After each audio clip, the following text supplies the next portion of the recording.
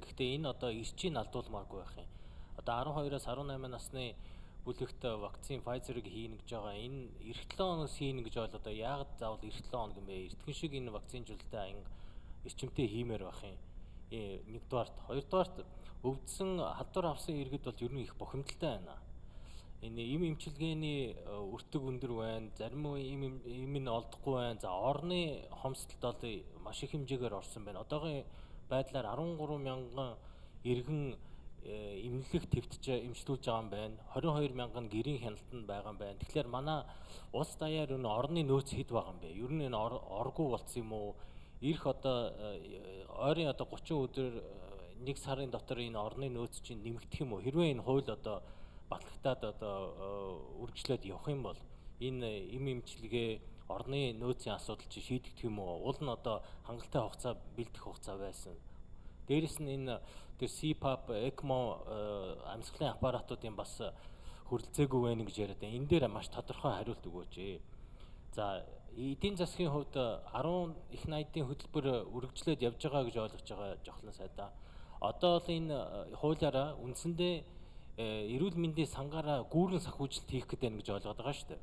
Үгүй юу те? Та энийг бас нэг тодорхой ойлгож өгөөч. А ер нь санхүүж мөнгө байхгүй болчоод бид нар ингэж байгаа мó аль эсвэл одоо ямар асуудал байна энэ энэ дээр бас маш тодорхой ялангуяа бизнесийнхэнд ийм тодорхой хариулт өгөөч. Баярлалаа. За 85 Сүрэжмийн хөл. За амар төвшин гишүүний асуултанд хариулъя. Улсын хэмжээнд 27 мянган ор байдаг. Энэ 27 мянган орд Аршаан совлын бүх ор багтаад нийлсэн тоо. Үүнээс бид нэр 11 бараг 12 мянган орыг бараг зөвхөн ковидд зориулан дэлгээд байна. Бид нэр орыг бол дэлгэж болно, мянга мянгаар дэлгээд байж болно. Хамгийн гол нь тэнцээ ажил хүний нөөцийн дутагдал үүссэн. Эрүүл мэндийн салбарын ажилтан бас тодорхой лимиттэй. Тухайн нарийн мэрэгжил ялангуяа тэр эрчим тэмцэлгээ яаралтай тусламжийн эмч бол хомс байдаг Өнөөдөр яралтад эрчим тэмцэлгээний эмч одоо манад 340 эмч байдаг. Энийг бас таад маань ойлгох хэрэгтэй. Орыг бол дэлгээд ажилуулад байж болно. За ECMO аппарат бол манай улсад 3 байна. Одоо нэг худалдаа нэг худалдаа авалтаар ирж байгаа. За энэ ECMO аппаратны нэг зардал нэг хүнд хэрэглэх зардал нь бол 35 сая төгрөгөд тэр хэрэглэдэг сет нь их өндөр өртөгтэй. За им тариаг одоо хүртэл засгийн газраас үнгүү тарааж өгч байгаа. Бүх батлагдсан тохиолдолд нэгдсэн худалдаа авалт хийж эм тариа тэр хүнд үед хэрэгэлдэг эрэмдэзээр гэдэг нэг ампул нь 150 мянган төгрөг байгаа. Одоогийн зүүн дээр бол үн буурч орж ирж байгаа 125 мянгаар. Энэ мэтчлэн бол бүх маш их хэмжээний зардлууд бол гарч байгаа. Энэ эм тариануудыг бол зөв улсын хэмжээнд бол түгээлтийг хийж хангаж байгаа.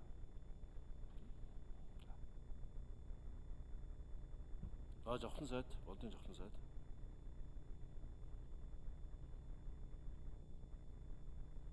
За амт тушин шинэ асуултанд хариулъя. Их зөв үнцэг гаргаж асуулаа. Энэ ийм юм байгаамаа. Бид түрүү хэлсэн 5 сарын 31-ний байдлаар эрүүл мэндийн даатгалын сангийн зарцуулт 37% тавьсан. 37% таа. Одоо нэг 495 тэрбум буюу нэг 40 гаруй хувьтай байна. Тэгэхээр эрүүл мэндийн даатгалын сан мөнгөгүй болчоод энэ салбар төсөвгүй болчоод мөнгө зарцуулах гад нэмж алдагдал хийх гээд байгаа зүйл огт биш шүү. Ямар нэг гүүрэн санхүүжилт энэ төр биш. Ковид тусаад ард түмэн ийм одоо эдийн засаг эрүүл мэндийн маш их хүнд нөхцөл байгаа үед бид энэ сангаа өшөө илүү хурдтай зарцуулах хэрэгтэй байгаа юм. Мөнгөгүй дэвш мөнгө байгаад байгаа учраас энийг зарцуулах өөр боломж хурдаа нэмэх үүднээс энэ ковид үлдэнд өөрчлөлт оруулж байгаа юм шүү. Энэ гарсан мөнгүүд бүгд яг эрүүл мэндийн санхийнхаа зориултын дагуу даатгуулагч нарын төлөө гарсан эмчилгээний зардлуудад л явсан байгаа. Өөр ямар ч салбарт зарцуулт хийгдэггүй. Цаашдаа ч хийгдэхгүй. Мөнгө байна. Ийм учраас энийг зарцуулъя. Ковидын эсрэг бид нар санхүүжилтээ энүүгээс хийя л гэдэг юм. Аль ч улс гүрэн тусгайлан ковидын төсөв гэж хаанч төсөвлөгдөөг. Манай улс мөн л адил. Энийн эсрэг мөнгө нь энэ эрүүл мэндийн дадлын сан буюу одоо эрүүл мэндийн сайдын одоо ерөнхийлөн захирагчийн хувьд энд л байгаад байгаа. Энийг л зөв зохистой бид нар зарцуулмаар байна л гэж байгаа. Тэрнээс үе юун төр төсвийн цоорхоо. Одоогоор тийм цоорхоогоо нөхөх тийм төсвийн хүнд байдал бид орчоогүй байна. 5 сарын гүйцэтгэлээр бид нар төсвийн ордог 98% та гарсан. Төсвийн урсгал зардал, төсвийн одоо хөрөнгө оруулалтууд гүйцэтгэлээр ямар ч хоцрогдолгүй, ямар ч саадгүй санхүүжигдээд явж байгаа.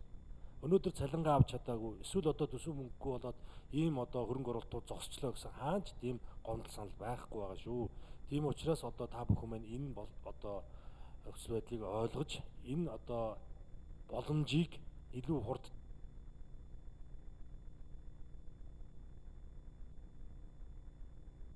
За амар төшөө гүшүүнд тодруулна. Ганибалын амар төшөө гүшүүн юм. За нийгэм дотоо ярьсан байна энэ 119 ерөөс ачаалал дийлэхгүй залхахад ерөөс уцаа авдггүй гэсэн бас нэг э, гомдол иргэдээс ирээд байна. Энэ дээр бас нэг э, салбарын яам нь тодорхой аль эсвэл одоо шадар сайд нь э, хариулт өгөөч. Хоёрдоорт нь хүний нөөцийг явхал цаад ярьлаа. Хүний нөөцийг одоо нэмэгдүүлэх боломж байгаа мó? Богино хугацаанд.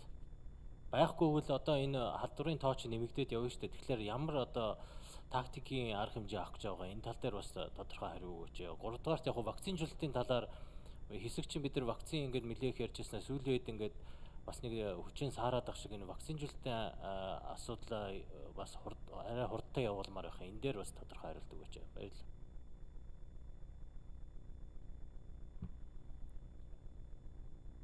За 85 Сэрэжүүн хөлсөд. За хүний нөөцийн бодлого дээр за бид нар сайн дурын болон өндөр насны тэтгэвртэй гарсан за одоо бүр дөнгөж төгсөж байгаа студентийн нарийн мэрэгжил эзэмшээгүй анагаахын их сургууль төгссөн оюутнуудыг хүртэл дайшлахаар бид нэсийн төлөлтүүдийг хийж байна.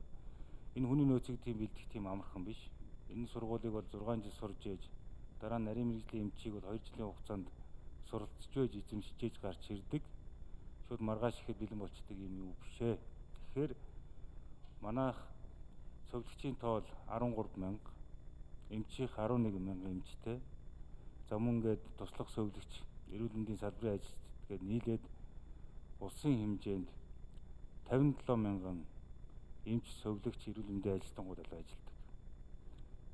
За бид нар бол хувийн хвшлийг бол дайчилж байгаа. Сайн дурынхан гэх мэтчлэн энэ хүний нөөцийг бол боломжийн ирээр бол гаргаж ажиллаж.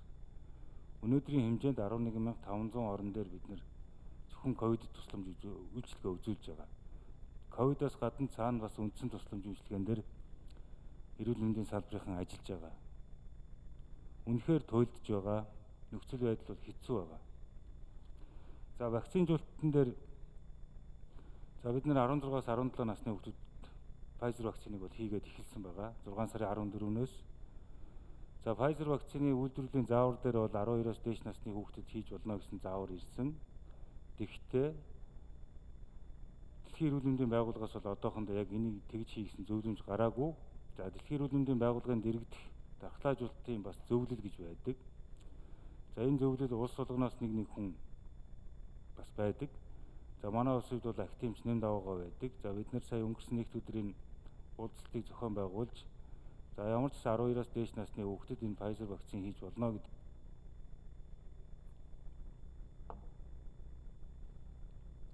За Ганибалын амар төвчг шүний асуултанд хариулт дууссан.